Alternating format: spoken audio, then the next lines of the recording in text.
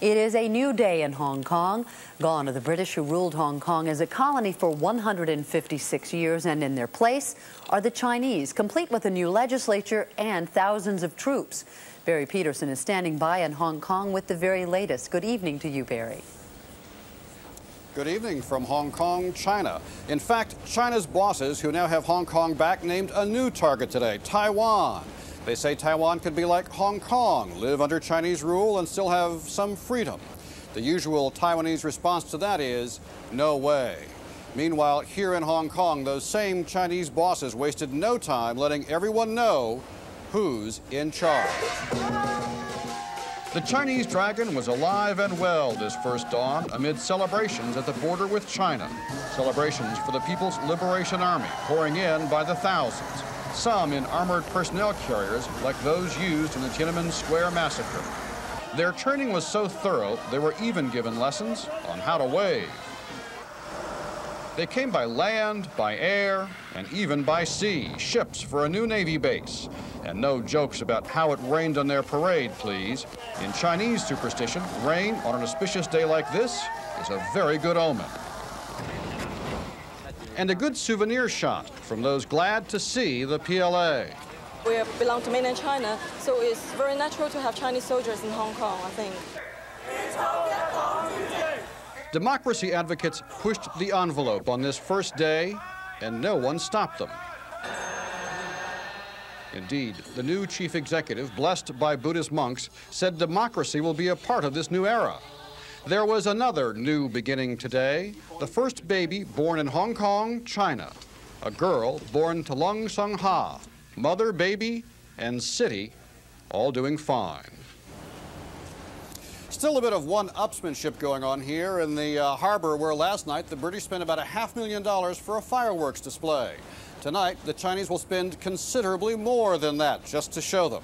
So for the people of Hong Kong, the order of the day is still party on. Jane? Barry, is the new Beijing appointed legislature likely to make any significant changes? It's not really soon, I shouldn't think. In fact, the new executive is already talking about democracy in this new era. But I think as time goes on, we may see some rather substantial changes. Barry Peterson in Hong Kong, China. Thank you. Chinese leaders promise no big changes in Hong Kong's thriving economic system or its democratic traditions. But the world will be watching closely. CBS News anchorman Dan Rather asked U.S. Secretary of State Madeleine Albright why the former British territory is so important to the United States. We are interested that Hong Kong preserve its way of life, uh, its democracy, it is vibrant.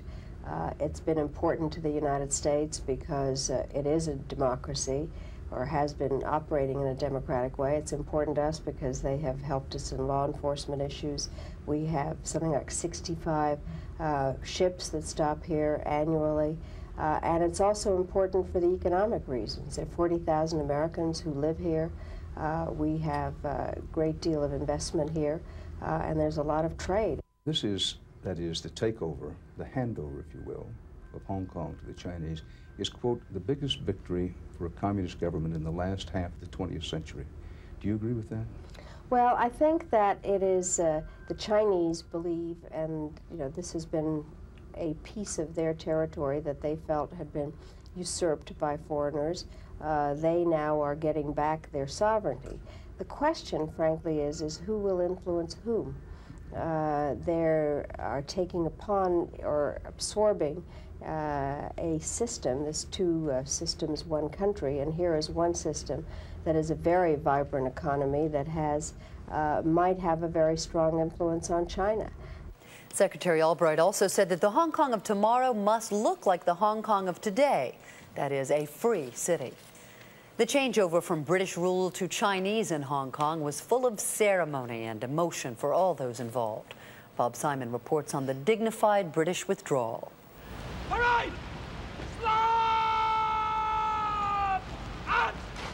The sun did not set on the British Empire it had been advertised. It never came up. It rained all day and all night. Prince Charles and Governor Patten got soaked at the farewell ceremony, the last purely British occasion on this last day of British rule. And the troops? It may have rained on their parade, but they didn't miss a step. Who but the British can make a retreat look like a triumphal march? Who else can bow to the inevitable, standing so upright with such grace and panache? For the last couple of days, people in Hong Kong couldn't get enough of them. The people who, according to Beijing, were overjoyed to see them leave wouldn't let them leave without one more snapshot. On Stonecutters Island, soldiers of the Black Watch Royal Highland Regiment were bused to ferries where they began chugging their way back to Scotland. Glad to be going home? What soldier isn't? And yet. It's great sadness. Uh, I've had a wonderful four years here and uh, just sad to be going. But all good things come to an end, as you guys know. In Vietnam, the last Americans turned the lights off. In Hong Kong, the British closed the gates. It was a bit more decorous than our departure from Saigon, but the essence of it wasn't all that different. It was the handing over of a country to a tough communist regime. And this time, the first time ever, not a single shot was fired.